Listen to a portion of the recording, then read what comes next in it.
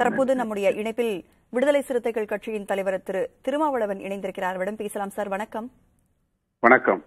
Marxist communist மூத்த தலைவர் சங்கர் ஐயா தற்போது காலமாகி இருக்கிறார். உங்களுடைய இரங்கலை நீங்க பதிவுபடலாம்.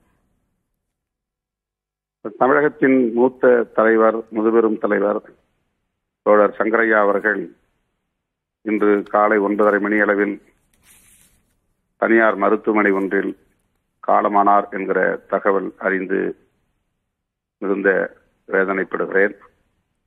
நூற்றி இரண்டு வயது வரையில் அவர் வாழ்ந்திருக்கிறார். ஒரு நிறைவாழ்வு வாழ்ந்த மாமனிதர்.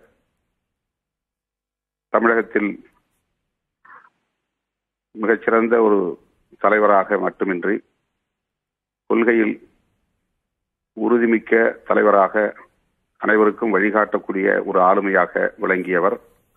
அதனால் தமிழ்நாடு முதல்வர் மாண்புமிகு தளபதி ஸ்டாலின் அவர்கள் அவருக்கு தகைசால் தமிழர் என்கிற விருதினை வழங்கி சிறப்பித்திருக்கிறார். இந்திய விடுதலை போராட்டத்தில் பங்கேற்றவர் பொதுவுடைமை இயக்கத்தை வலுப்படுத்தியவர். அதேபோல தமிழக அரசியலில் மிகப்பெரிய தாக்கத்தை ஏற்படுத்தியவர்.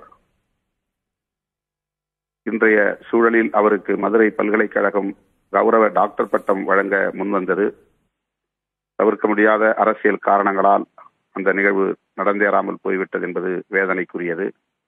அவருடைய மறைவு கம்யூனிஸ்ட் இயக்கத்திற்கு மட்டுமல்ல ஒட்டுமொத்த தமிழ் சமூகத்திற்கு நேர்ந்த பேரிழப்பு அவருக்கு எமது செம்மாந்த வீர வணக்கத்தை செலுத்துகிறோம். அவரை இழந்து வாடுகிற இயக்க தோழர்களுக்கும் குடும்பத்தினருக்கும் எமது ஆழ்ந்த இரங்கலை தெரிவித்துக் கொள்கிறோம்.